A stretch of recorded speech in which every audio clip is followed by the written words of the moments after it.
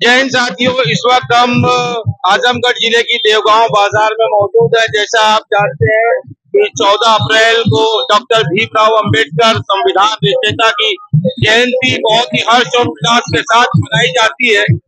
और जैसा देवगांव बाज़ार के अंदर अगर आप देखेंगे तो हमारे साथ में डॉक्टर भारती है तो इसका आयोजन करते हैं। तो वकील साहब, आज ये जो जयंती मनाई जा रही है, किस इसका उद्देश्य क्या है? हमारा उद्देश्य है कि बाबा साहब भीम अंबेडकर पूरे भारत में एक संविधान लिखने का काम किया है। और हम जिस समाज से आते हैं, हमारे बाबा साहब उस समाज से थे।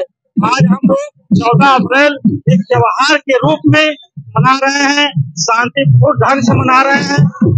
जबकि हमारा एक सौ चौवालीस लागू हुआ चुनाव वर्तमान में चल रहा है। हम लोग सब कुछ देखते हुए शांतिपूर्ण से चौदह अप्रैल को हम त्योहार के रूप में शांतिपूर्ण स्थान इस गाँव में मना रहे हैं और हमारे लगभग दस से बारह हज़ार संख्या इस देव गाँव में है और प्रशासन से सहयोग से हमारे अच्छे मिशनरी के सहयोग से कार्यक्रम हम लोग बहुत शांतिपूर्ण से मना रहे हैं। अच्छा ये हर साल मनाई जाती है कि खाली इसी साल पिछले लगभग हम लोग सोलह साल लगातार बड़ा बड़ा कार्यक्रम हम लोग करते चले आ रहे हैं। अच्छा जैसे कि संविधान रचयिता डॉक्टर भीमराव अंबेडकर की जयंती हर्षोल्लास के साथ मनाई जाती है और कोई भी अधिकारी या कर्मचारी अपना अगर शपथ ग्रहण लेता है तो संविधान की कसम खाता है। लेकिन बार बार क्यों ऐसा होता है कि संविधान को बदलने की बात की जाती है? देखिए, संविधान की बदलने की बात आप जो कर रहे हैं।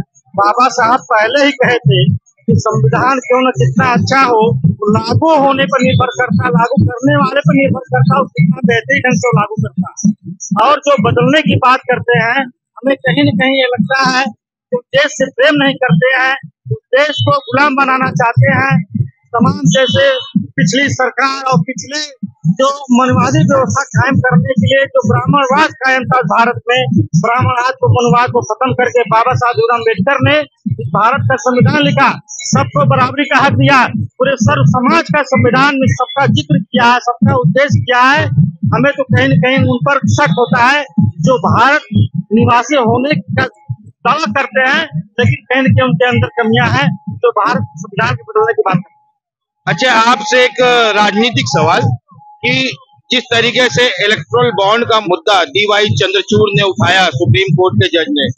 और उसके अंदर एक बहुत बड़ा घोटाला दिखा।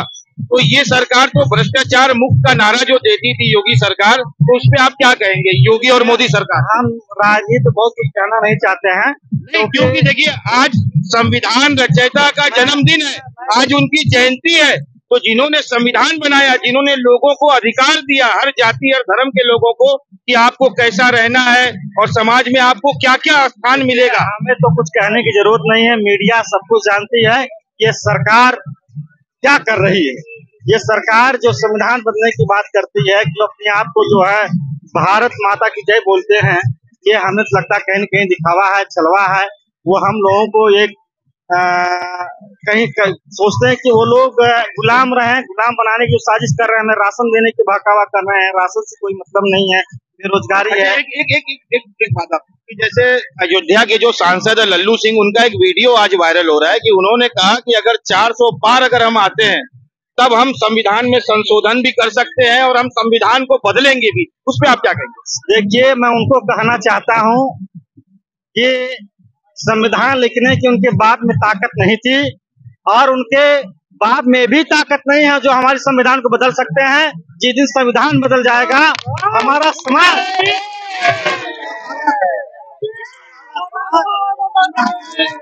हमारा समाज जो चौदह अप्रैल जो शांतिपुर से मना रहा है यह इस कदर रोड पर निकलेगा कि पूरे भारत को जाम करने का मैं दावा रखता हूँ, हमारा दलित समाज। और भारत बदलने, भारत संविधान बदलने की क्या वो बात कर रहे हैं? वो भारत को बदलने की बात करें। संविधान में तो वो उनके बाप लिखने की ताकत नहीं थी ना उनके बाप में ताकत को संविधान बदल सकते हैं। चलिए धन्यवाद। हमारे साथ में एक वकील साहब और खड़े उनसे बात करेंगे। वकील साहब आप क्या कहेंगे? जैसे अभी वकील साहब ने डॉक्टर भारती साहब ने कहा आपकी क्या राय? सबसे पहले हम कहना चाहेंगे कि यहाँ जो भीड़ दिखाई दे रही है ये वास्तव में मूल निवासियों की भीड़ है और कोई बनावटी भीड़ नहीं है। आज चौदह अप्रैल सन 2024 के उपलक्ष्य में देवगांव बाज़ार में जो ये रेला जो है, उमड़ा हुआ है, ये वास्तव में अगर भविष्य में किसी तरह की जो है संविधान से छेड़छाड़ की गई तो आप देख रहे हैं कि जो इसके जवाब देने के लिए हम लोग तैयार हैं। और आज जो है, हम बता देना चाहते हैं कि हम वास्तव में बाबा साहब बाबा साहब किसी एक के नहीं थे, बाबा साहब पूरे देश के लोगों को, पूरे देश के सारे लोगों का अधिकार उन्होंने दिया है, और उनको जो है एक सीमित मात्रा में जो है आप नहीं कर सकते। और पूरे देश के लिए उन्होंने जो है पूरा संविधान का निर्माण किया है। अच्छा वकील साहब, एक बात बताइए कि जैसे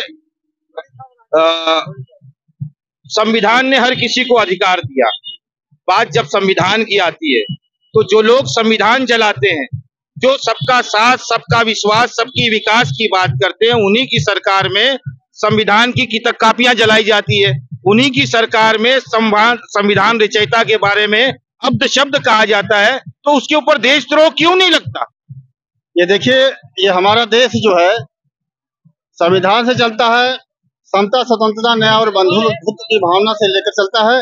अगर इस तरह के जो है जो लोग संविधान विरोधी अगर कार्य कर रहे हैं तो इसके लिए हमारे लोग उसका जवाब देने के लिए तैयार है। कर रहे नहीं है ये हो चुका है वकील साहब। दिल्ली में बाकायदा मीडिया के सामने रोड पे खड़े रह के संविधान की किताबें जलाई गई है। तो क्या ये देशद्रोह नहीं है? सबसे बड़ा दोष देशद्रोह ये है इससे बड़ा कोई देश देशद्रोह है ही नहीं कि भारत के संविधान को जलाया जाए। ये देश का एक बहुत बड़ा जो है प्रमाणित दस्तावेज़ है। इसके लिए तो हम लोग बर्दाश्त नहीं करेंगे और जो भी सरकारें अगर इस तरह का जो है अगर कार्य करेंगे इसके हम खिलाफ हैं और हम अप, अपनी आवाज़ को उठाएँगे ज़रूर। आगे मनमानी नहीं करने देंगे। 2024 में क्या लगता है आपको कि यहाँ लालगंज क्षेत्र से कौन जीत के आएगा? सपा, बसपा या भाजपा? देखिए ये सबसे बड़ी बात है कि ये हमारे विचारों की लड़ाई है, समता, स्वतंत्रता, न्याय और बंधुत्व की लड़ाई है, समानता, सम्मान की लड़ाई है। तो जो जो भी जो है इस पर खड़ा अगर उतरता है तो ज़ाहिर सी बात है कि वो, हम उनको जो है बिल्कुल देखने का काम करेंगे। अगर यहाँ पर जो है हमारे जो प्रतिनिधि हैं, अभी आई हैं जो डॉक्टर इंदू चौधरी जी आई हैं, जो कैडर से भी रह चुकी है, और काफ़ी जो उन्होंने मेहनत भी किया है समाज को जगाने के लिए असर समाज में लोकप्रिय हैं। तो हम चाहते हैं कि अगर चाहे जो भी, अगर इसमें देखते हैं तो उनके गुण को देखा जाए और जो है, जो उनको जो है, उनकी जो नेतृत्व करने की क्षमता है तो ये इसमें कोई शक नहीं है कि जो है, ये बिल्कुल जो हमारे जो है, ये देश के लिए बिल्कुल जो है, नेता होंगी। और, बाबा साहब के जो विचार हैं, उनको जो है, ऊपर ले जाने के उन्होंने काम किया है और इसी के साथ जो हम आप सभी लोगों को बहुत बहुत धन्यवाद देना चाहता हूँ। ये धन्यवाद आपका समय देने के लिए। तो जैसा जी आप संगठन के अध्यक्ष हैं आप क्या कहेंगे? राशिद भाई सामने जी आप बताएँ आप क्या जैसे ये आज रैली निकली है और इसमें तो सभी लोग हर वर्ग हर उम्र के लोग हैं लेकिन जब संविधान बचाने की बात आती है जो लोग संविधान का अपमान करते हैं जो कसमें तो संविधान की खाते हैं लेकिन फिर रोड पे ये कहते हैं कि हम संविधान को जलाएँगे और जलाते हुए दिखे भी लेकिन उनके ऊपर मौजूदा सरकार ने कोई एक्शन नहीं लिया। उस पर आप क्या कहते देखिए सर संविधान खत्म करने या जलाने किसी की दुनिया में ताकत नहीं है। जला है? नहीं जला है। उसके लिए हम ये लोकतंत्र के माध्यम से हम उस सरकार के कानों तक जाएँगे कान को खोलेंगे जो संविधान का नुकसान करता है वह मेरे देश की गरिमा ही देश की ही नहीं पूरे विश्व का गरिमा हमारा भारत का संविधान है। अध्यक्ष जी जाएँगे। चले जाएँगे चले गए थे ये बातें पुरानी हो गई कब जाएँगे?